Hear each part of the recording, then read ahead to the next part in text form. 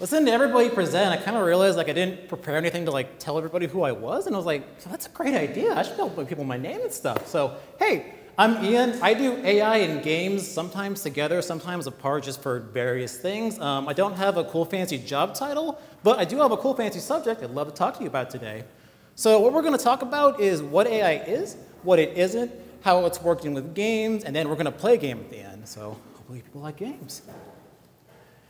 I think a great place to start with uh, what it is is just getting a very basic definition. So in computer science, AI is something that simulates natural intelligence. And when I say simulates natural intelligence, it doesn't really, it can be very simple or very broad. So it could be something that just randomly chooses how to play rock, paper, scissors. It's, you know, okay, I got one, well, we're picking scissors, or something, you know, is like the whole human experience. We're just sort of focused on simulating some aspect of natural intelligence.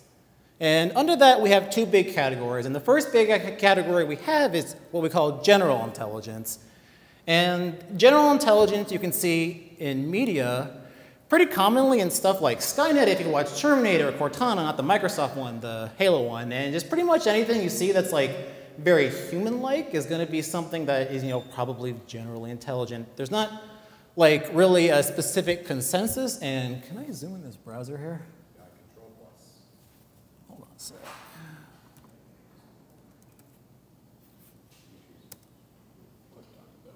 Hmm?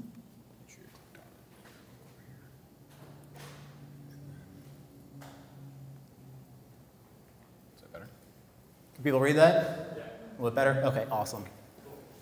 So like I said, there's not really any specific consensus on what general intelligence is. Generally, think about it as thinking that is as flexible and as skillful as a human's. And if you can make this, you would have done what we call solve the field of AI. So all the problems in it would be done because you would have invented the biggest, baddest thing. Um, below that, we have some questions to ask. Those are just kind of thought experiments you can use to sort of, you know, tell if, you know, a robot is generally intelligent or not kind of the thing to focus on is, you know, how does it have novel ideas? Does it have a clear understanding of abstract reasoning? You know, can it like, you know, get above the conversation and sort of work its way back in? And can it improve its own learning, apply related skills? A cool trick to see if this exists, you know, if it's generally intelligent in real life, it's not because it doesn't exist yet, but we do have something that does exist.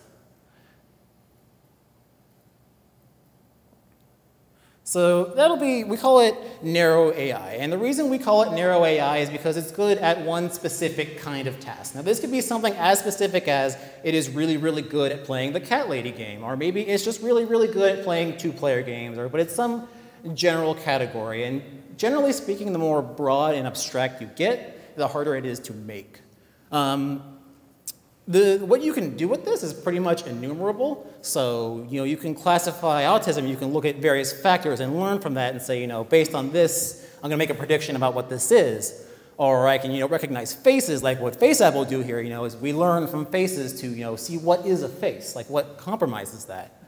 Um, and gameplay, gameplay is you know, probably what you're here for. And there are a lot of really interesting things. My favorite example is AlphaStar. And the reason I like AlphaStar so much is because it's one of the great examples of where AI achieves superhuman level performance in games.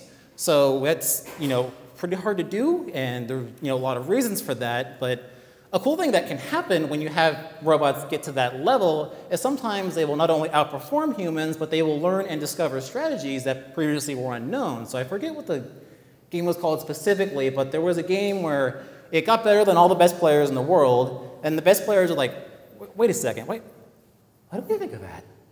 And then they learn from the bot, and they learn how to play the game better. So that's you know something that's really interesting. But generally speaking, making opponents that are impossibly powerful is just you know bad game design. So what we want to shoot for is something that is human-like, something that will behave like a human, which will draw our audiences in and make them feel like they're a part of the experience.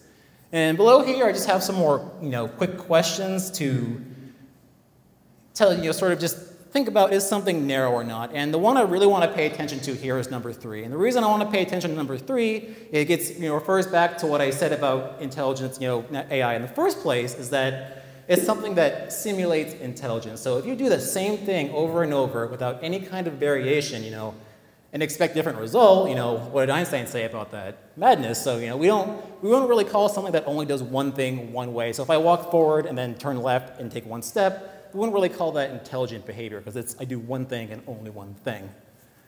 Now, in this, we have like several big broad categories. And I'll get through these real quick so we get to the fun part.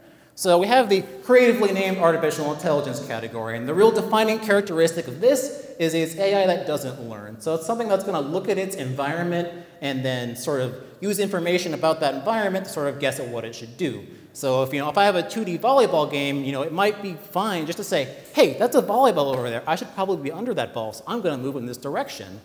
But you know when we try and get to different games and different things, you know, we kind of discover that making this is really, really hard because it gets really complicated really fast. Also, we kind of discover that, you know, there are other ways we can get things to learn to do tasks. And that brings me to the next big category, which we call, you know, intelligent or you know, machine learning. And this kind of AI uses information to automatically improve its ability to do something. And the cool thing about this is you don't really tell it what to do. What you do is you take it and you throw it in an environment and then it learns to do it on its own. So like you would write an ML algorithm, you would set it up with a game of like Snake or whatever and just leave it alone for maybe however long, and it's gonna figure out how to play Snake without any kind of prompt. And that's, you know, pretty cool if you think about it. It's just, it's learning the rules, you know, based on trial and error.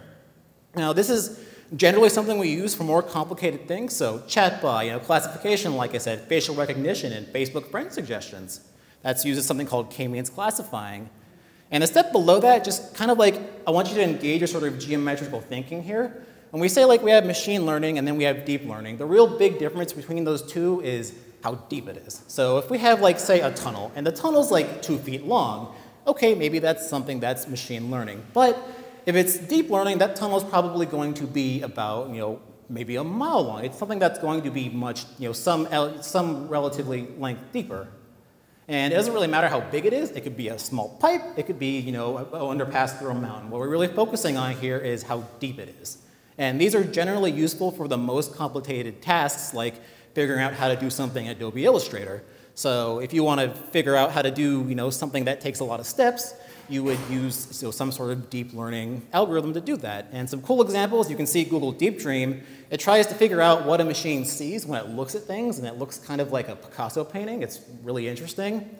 But the even more thing is that relates to games, which is deep reinforcement, which is sort of, you know, over a long period of time, how do we maximize some kind of reward? And this is how you can take something without any knowledge of any kind of game and it will figure out, it'll say, okay, I did this and got a reward, so I'm going to do more of that. And you know, over thousands of millions of games, or however many it does, it's you know, hopefully going to get really good at that.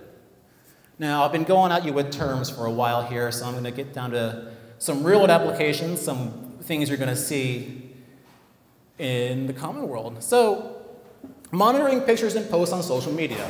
This is really cool because, well, it's really easy because especially on platforms like Twitter, pretty much everything is publicly available.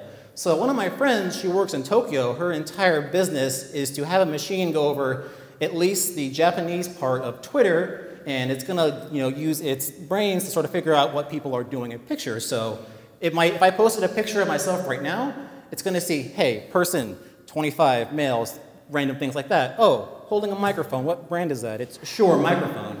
So if you are looking over like hundreds of thousands of pictures, you can you know, get really interesting insights about what people are doing in real time. So she'll go through the Twitter, Twitter crunch all that, and then use, it'll make predictions and about what people are doing in the current time. So it's like, hey, right now people are using Shure microphones, they're wearing clip-ons, they're wearing brown shirts. You know, this information she can then turn around and sell to companies, and that's you know, basically her business model.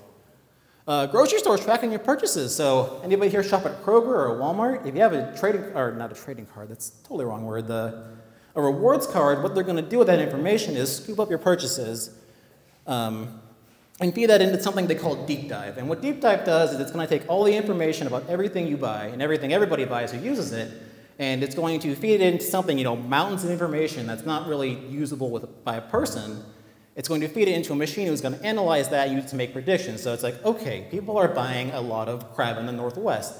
What are people going to buy next? That's what Kroger is going to want to know. So then they're going to say, okay, maybe they're going to buy butter or something. And you know, if you use their apps, they're also crawling through that. Um, one other thing that can be done and is done is reading your emails. So what, what Google will do, at least to train predictive text AI, is they will read through your emails, you know, as you're writing them or, you know, some degree of it, and they're going to use that to sort of train an AI to uh, predict what you're going to say next. And, you know, that is something that's useful to them and to you. So just in conclusion, real quick, this is really old, actually. Neural nets were embedded in 1958. Really, what has made this, you know, get into a golden age is the fact that we have a lot faster computers. You know, if you want to train a neural net, it is a lot of multiplication. It takes a lot of time to do. So this is really what has made it possible. But still, you know, we kind of this is not.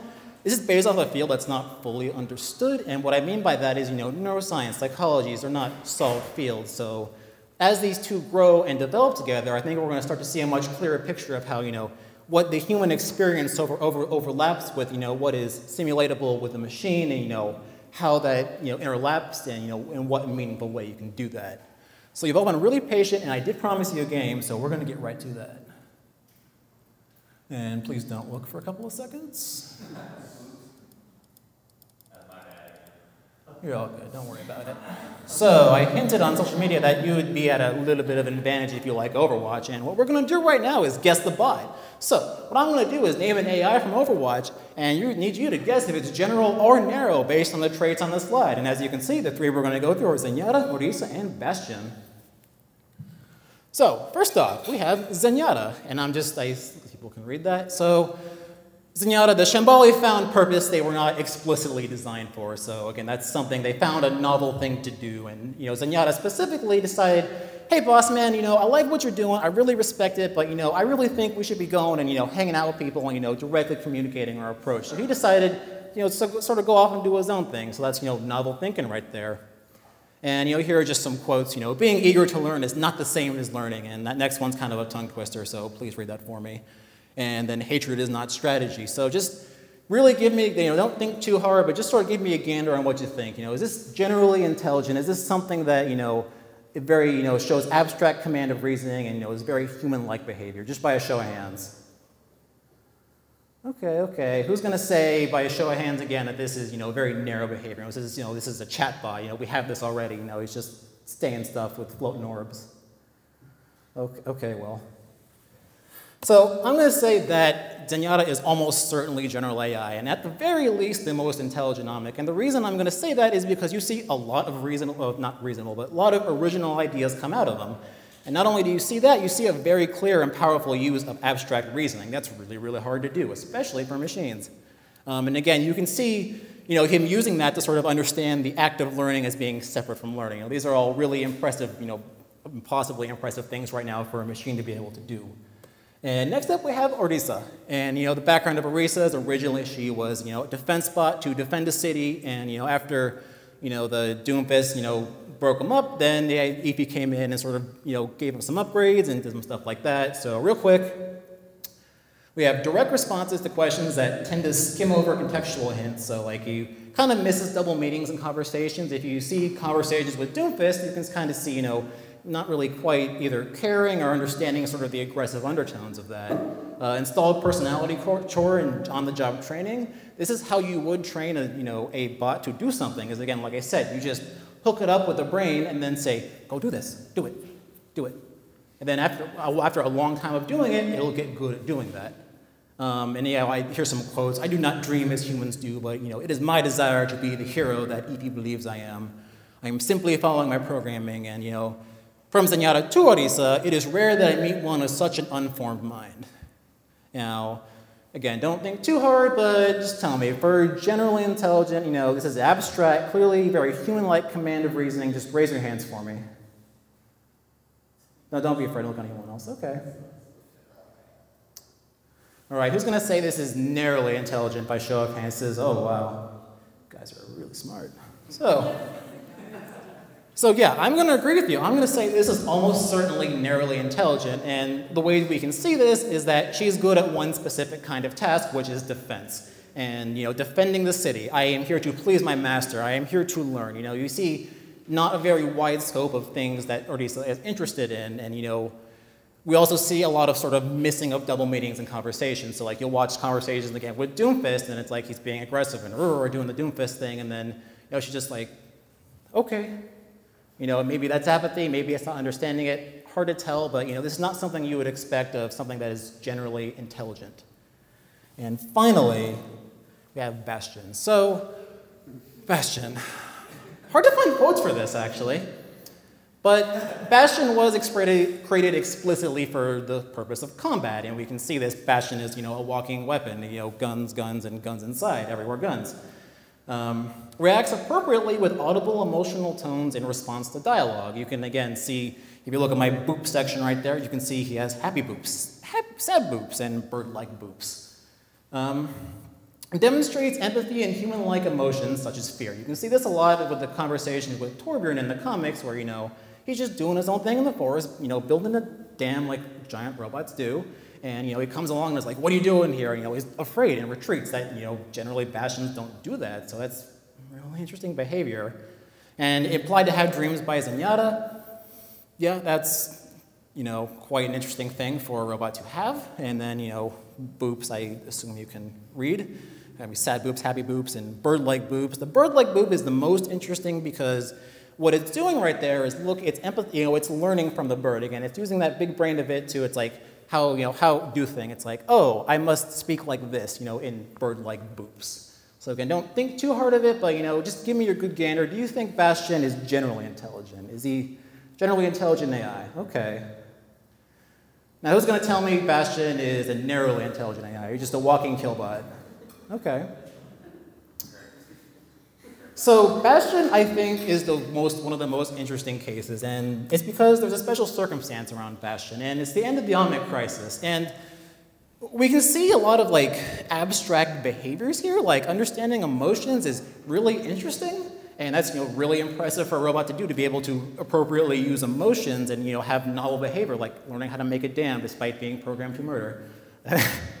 but you know the kind of the thing here that makes this special is that after the end of the Omnic Crisis, Bastion was, you know, damaged and left to the elements for, you know, a long period of time. So that kind of kind of brings into question, like, is this really something that is generally intelligent, or is this just, you know, maybe it was damaged and lost memories? It's kind of a pseudo, you know, fake intelligence. You know, we, it's hard to tell, but I would say since we can still kind of see the scope is generally limited. You know, maybe Bastion isn't quite as good as fighting as the other Bastion units. You know, it's really hard to tell, and you know, you can't really see from boops, you know, what or maybe what the dreams are. Maybe it's just a building dams. I mean, I don't know, but th this is kind of the special case here. You know, we don't know, but I'm going to say it's an exceptionally flexible narrow AI with you know, kind of childlike and very endearing behavior. So that is brings me to the end of my game. I will be hosting this on my website. Um, if you guys want to come and see this again or have any questions or want to talk about Overwatch, please hit me up. And thank you all so much for listening.